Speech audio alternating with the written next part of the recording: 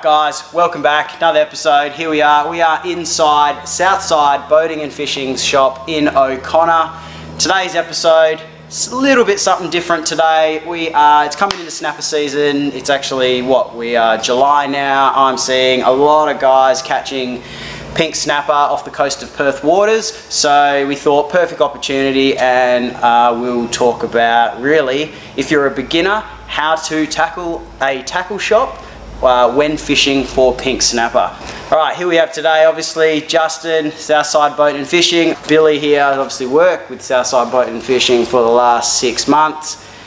Billy is specialised in river and bream fishing. So if you have any questions in relation to that, make sure you hit up Billy, have a chat with him in the store. The guys are always open for conversations. Um, and yeah, thanks Billy. All right. Till then, we'll get on to it. All right, so really what we're doing, this video is really about if you are, you know, are a beginner and you're wanting to fish for pink snapper in Perth waters, we're gonna try and provide you with some basic understanding for you to get out there, go for a fish and try and catch a pink snapper uh, from a boat.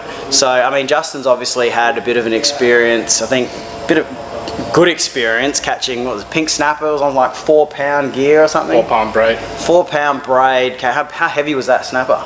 Uh, 14.8 kilo. Nah, it's mad. Four pound braid. That's a big fish, and that would that would have taken a while to get. I mean, how long did that take to get to the boat? That fight took 35 minutes. 35 minutes fighting a fish. Yeah, right. That's awesome. Light gear, big fish. Oh, everyone's dream. But yeah, all right, enough of that. We'll, um, we'll get into this because I want to, we want to provide you with the most information we can in this video. Um, so from now we will go on to rods. We'll look at all types of rods um, from you know beginner, intermediate to advanced, but this we're going to sort of stick to beginner. Um, so something that doesn't break the budget too much, um, so you can just get out there. So let's go. All right, so we've moved on to the rods. Justin and I are basically going to go through what are we going to do? Someone, a beginner budget, what, say a mid-range, say two to four hundred dollars sort of range. Four hundred is a good. That'll give you a full combo, you know, a rod, a reel, um, some braid, I would say, uh, and we'll go through uh, the leaders after we go through these combos. And then we're going to go through an ultimate. So we're talking what five to a thousand dollar sort of combo. Thousand plus, yeah. Yep. Um, you know, if you're sort of into that advanced sort of level, um, but we are going to start two to four hundred dollar budget, which will get you like a full combo to fish for pink snapper. So. Justin's going to go through the specifics of this because he's he's the master at this stuff. So all right, so two to four hundred dollars will get you basically a combo like this. This is obviously Ocean Legacy rod there, Justin. Ocean Legacy slow element, and that's the P3. Um, Ocean Legacy slow element. P3 is a good starting point because it's soft enough for you to actually flick a bait out, but still hard enough to actually fight a fish, especially when you're in close and you're in that anywhere between 3 to 15 meters. Um, getting bricked really easy by snapper because they are a reef fish. And generally just a good quality reel. Um, sometimes a lot of people get confused between the quality of reel and quality of rod. Generally, the best thing to do is actually just pair a combo up that works together. That's the main thing. Um, and pairing a combo that works together just means you spent that $200 in fuel to get out there and all the other gear. Spend a little bit more money on your reel and rod because that's ideally what's going to stop fish and help you land them. Doesn't have to be the most expensive, like this combo here is what we call entry level. So entry level generally starting from 100, 200, 300, 400 and around about that price range will get you the entry level and purely because most of those reels that are on them aren't really the high end. So they're going to be still good quality give you a good few years use out of them. For example the Legalis which is the LT 6000D you knock 40 pound braid on that 50 pound braid whichever one you like to go with. You can even use mono if you a mono kind of fisherman because they have a really deep spool so you can run your thicker mono on it and yeah, purely that is what your entry level combo would look like. Like I say, good quality rod, that's key.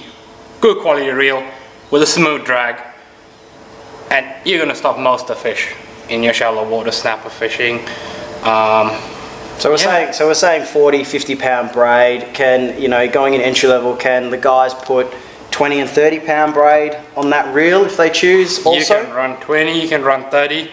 Um, the only thing you don't want to really go too light is on your leaders. Yep. Still want to run the 50, 60 pound in, in close, uh, purely because fish break you so easily in close. In fact, they're more of a challenge to land than deep water fishing. Yeah. And obviously, size wise, you know, we all coming into fishing entry level, we do want to catch that big monster fish, but you know, generally it's just great to be on the water. We just want to catch fish. So, you know, if the guy's got this entry level kit, you know, you could catch a fish from two kilos to five kilos, 10 kilos quite easily, right? Easy, easy. Easy. It just comes on, like I said, good quality. Quality is key. Um, like you saw, my big snapper, that was caught on a rod and reel that I think I in total costed about 350 bucks. Four pound. But that was four pound gear. But That's awesome. um, it just proves that buy it once, buy it right. Yeah. Mm, It's it saves you money in the long run as well. So All right, cool. All right, so that is the uh, sort of two to four hundred dollar range. Um, we that, that that's a pretty good budget, as as Justin said. Quality gear.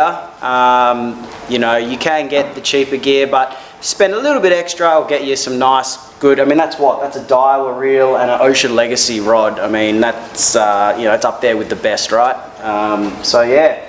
All right, now this is for a little bit for the advanced sort of fishermen out there. We're going to go the ultimate guide. So, you know, if you have the budget to spend a little bit more, you know, the five to thousand dollar mark, you know, this is the real, what do we say? This is like, I don't know, the Ferraris of uh, the fishing life, would you say there, Justin? this would be one of the Ferraris of the fishing world, definitely. All right, so I mean, here we are. I'll let Justin go through it, but he'll run through it. I think we have clearly uh, Daiwa Saltiga on there, but he can go through the specifics. So, you know, with those guys that have, you know, the bigger budget or want to spoil themselves, we all like to spoil ourselves when it comes to, you know, the hobby that we love, um, especially when we're doing it for a while. You do want to get some of that primo gear. Uh, but here's another, this is sort of the ultimate combo, so I'll let Justin run through what that is and, you know, roughly, approximately what that would cost you. So, from the rod, what's the rod? So this is a Yamaga Blank, the Galahad P2 to 4 Yeah, Japanese roll rod. So this rod is purely built, assembled, manufactured, right down to the fibers, all in Japan. They don't mass produce them, so you are up there where they do produce just a few at a time, and it's all hand rolled and everything as well. So they generally start off from about 650 to 700, and that would be a Galahad. That will be starting. They do go up to the thousands and stuff like that. Uh, again, you're fishing inshore. You don't need to ha- spend too much money, but sometimes, like like Sean said, it's good to treat yourself. We do deserve it every now and then. The reel that I would personally pair with this would be the Saltiga BJ. this is a good reel. Ooh, good reel. BJ standing for Bay Jigger, purely Bay in close. Powerful reel, small spool, compact design. They go from 3500 to a 4000 and they don't get bigger than that. And that's purely because they're designed for inshore use. Guys still use them offshore, you can use it. They are, like I say, designed for inshore. A reel like that, I think they're about 900. Um, and yeah, that's your full maxial reel.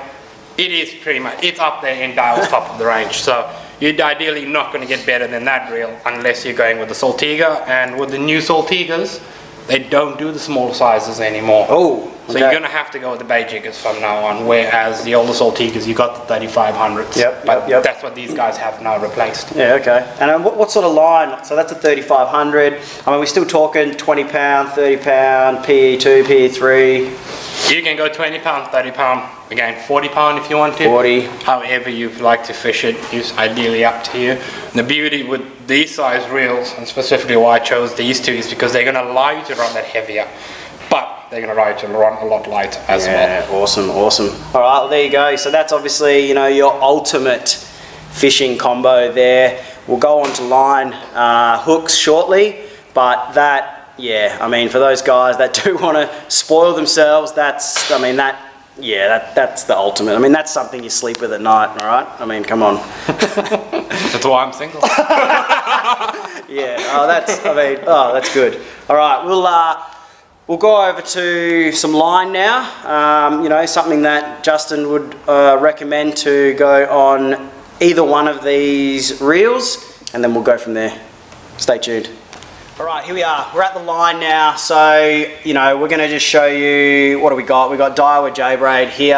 Um, there's obviously, you know, they start at what, 5, 10, 12, 20 Oh, they vary, pounds. six Varies, pound. right? It goes crazy. So it, braid galore basically, um, but we're going to show you first if you wanted to, you know, spool up with braid. Um, we'll go through what size, what we would recommend on both those reels. Um, you know, when it comes to searching for that elusive pink snapper in Perth waters. So Justin, we have here obviously Daiwa, J braid. You know, if we're on the salt, say for the two to four hundred dollar reel, um, the budget, you know, what braid would you recommend for the guys to basically spool up their width? So, Two to four hundred dollar range. Um, I would go. Look, you can go any braid ideally. Um, the beauty about braid is you get to pick what you want. You can run four strand, you can run eight strand. Um, as long as you're running, like I say, a good leader, you're going to be safe. J braid is a good braid. Um, I would probably recommend it on the two to four hundred dollar side um, because it's got a good price point to it. Um, it's well priced, it's not overpriced, and you get good value for money out of J braid. Um, again, for that 6000D Legalis reel, I would recommend you can run 40 pound on it. And the only reason I say 40 pound on that specific combo is purely because it's got a very deep spool. And you run 30 pound on it and you're gonna fit more than 300 meters, which ideally you don't need in close. So you can run slightly heavier, which means you can fill up your spool a lot more. Um, a lot of the guys that shop with us know we don't believe in running backing because backing on a reel, it doesn't do anything. If anything, it jams up your braid. You can't fight a fish on it, so we always recommend that. So run a slightly heavier braid and fill your spool up, or buy it off a bulk spool. And if you buy it off a bulk spool, you fill 500 meters on your reel. Sounds like a lot, but in four months' time, bring the reel in, we spin the braid over for you, and you get the fresh braid from the bottom back on the top. Double use. yeah, awesome, awesome. Yeah. That's good, good advice there. So we're talking 40 pound, you know, 30 pound. You know, some of the guys may want to run sort of lighter braid uh, on their reels. So you, you know, you would still recommend sort of J braid as a good starting point for those Yes, guys as well. definitely. Yeah. Obviously, you know, some of you might not want to run 30, 40 pound. You might even want to go lighter. Um, have a bit of fun, but yeah, I, I, I would recommend J Braid. I've obviously used it in the past as well, uh, but uh, I've obviously switched over to Tasline now. Um, but yeah, I do recommend J Braid, Daiwa. It is good stuff for the price. All right, we're on to hooks. So hooks are obviously important, right? Because if you don't have a good quality hook, what they bend, they break, they all sort depending on the size of fish. So blunt, don't hook your fish properly. Yeah, there's, there's multiple reasons why you want good hooks when it comes to fishing. So we're obviously in front of the BKK range at the moment. So you know, let's talk let's talk pink snapper for the beginner. There's a lot of methods out there for catching pink snapper. Um, let's talk let's talk inshore for now, right? Let's go. Um, we're you know we're we're anchored up, we're burleyed up inshore, west side of a reef, etc. And we're doing the famous inshore fishing for pink snapper during winter. So my personal, I'd probably go say a two hook snell and depending on wind, current, I might have a tiny bit of weight on there, I may not. So if we were to go hooks, Justin, you know what, in that instance, on a two hook snell, what, you know, what size hook would, you know, would you recommend to the guys? You know, hooks aren't too expensive, so you can, you know, if you did have a budget for that, obviously come in, see the guys, tell us what your budget is first, but generally hooks aren't too expensive, so you can get the good quality hooks for, you know, on, on a budget. Um, so yeah, I mean, what size would we use on a two hook snell generally? If a guys are just starting out, you know, what would you recommend? Again, everything depends on what beta person's running. Yep, Um, good one. I mean, So- a lot of guys love to run a yellowtail, which is a streamlined, smaller fish. So obviously you're not going to run massive hooks because you're going to have too much hook exposure, Yeah. which generally means when the snapper does grab the bait, the hooks are sticking way past its mouth. Yep. So Over there, I would run a five or six. Yeah. Preferably a five. Um, yeah, good choice. If you're holding your rod and you're waiting for the bite, I would. You can run a J hook, which is just straight. Or if you're putting in the rod holder with the drag slightly tensioned up, circle hook. Circle hooks generally just pull along the fish's cheek line and sets itself once it gets to the lip and you get a perfect corner lip shot. Um, if you're running slightly bigger baits like a scaly, which is a slightly fatter fish, or herring, or even even squid, um, purely because squid is softer, you want to kind of hook it twice with the hook. Um, that's where your six seven O's go into play. So probably wouldn't run anything bigger than a seven O. In fact, seven O is really big. Um, but again, I like to kind of use herring as well um, for my enclose.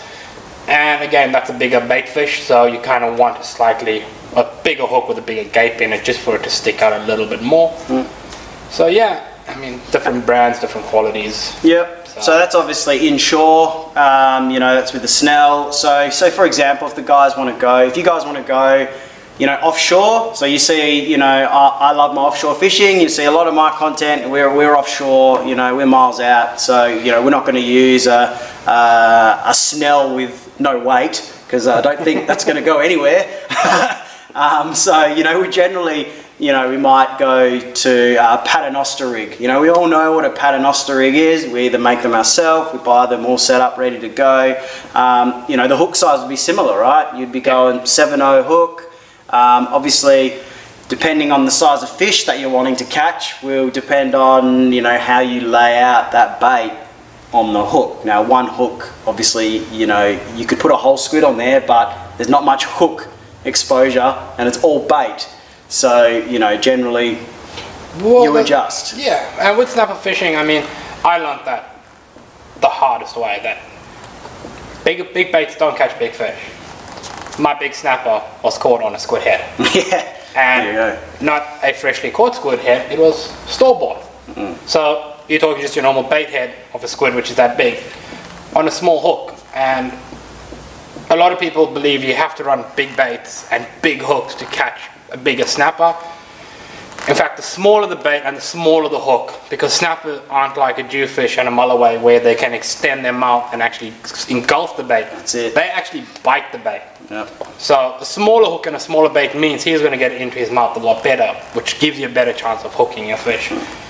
And that purely just comes down to knowing the area that you're fishing and generally the size of fish you do catch in those areas will Yeah. kind of lead you to what to run. Yeah, correct. All right, so you know we've spoken about the hooks, we're talking about braid, we're talking about rod, reel, size of mono, um, the size of braid, etc.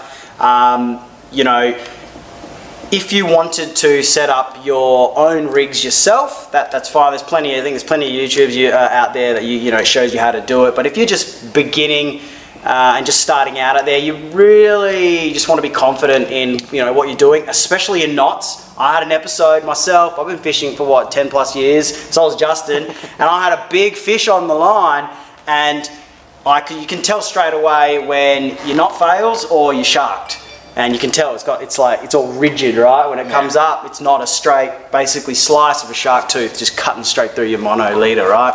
Um, so you know even i make mistakes. When i'm rushing on my line doing my knots etc but you know if you're not confident obviously southside have do have a knot. They do have their own rigs. I'll let justin go through it. Um, this obviously looks like what a two hook snell with a bit of weight on it and mono leader so i'll let justin go through that. They're just inshore rigs clearly by the name inshore rigs. Uh, but yeah, I mean, Justin, what's that? What's on that?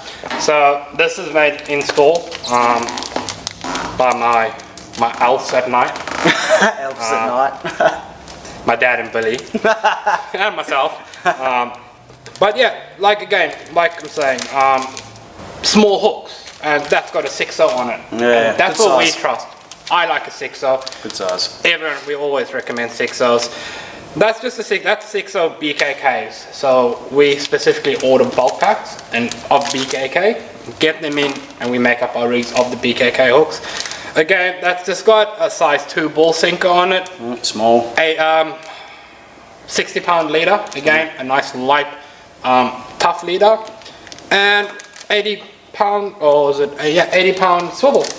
and just a little glow bead just to help um, put a bit of light in Yeah, the water when you're fishing. When you're fishing in the night. And um, a lot of people ask us what's the crimp for, and the crimp is purely to stop that sinker from going all the way up to your swivel and causing your bait to hit the bottom and float off. Oh, yeah. You kind of want it to settle very gently and slowly through the water. Yeah. So if your sink is falling quicker than your bait, it means it's holding your bait upright and it's actually pulling it nicely downwards. Yeah, right. Okay, good. So See, I just learned something then too. the whole See, idea of it.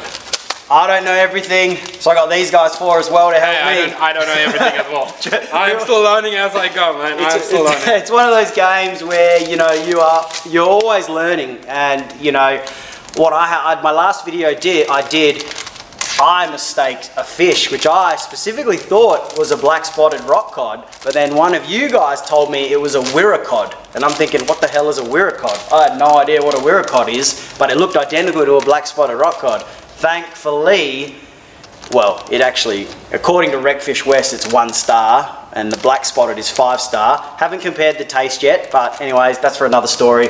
But as I was saying, you know, I don't know everything. I need you to help me, and we'll try and help you where we can as well. Because we don't know everything. We're all learning. It's a great hobby, great passion. Um, but yeah, obviously, that's about it from us. I obviously just want to thank Justin, obviously for the time shooting this how to tackle a tackle shop for fishing for pink snapper in Perth waters. Um, hope you've learnt something. Nice quick edit for you for those that are just starting out. But obviously we did show you the ultimate combo there. I'm, I'm still thinking about it to be honest, um, and when I'm going to get that. But no, but yeah, we really hope you like this video. Make sure you get down to Southside's. The guys are always happy to have a chat. Doesn't matter of the time, um, obviously when they're open, um, but come down for a chat. Anything to do with fishing, boating, ocean lifestyle, make sure you get down here, have a chat to them, and they will help you as best they can. And if they don't, I'm sure they'll find the information that they need to help you get on the water, catch a good fish, and just have an awesome time on the water. But yeah, stay tuned for the next adventure. If you like this uh, little video, hit that subscribe button, hit the like button, and we'll see you next time.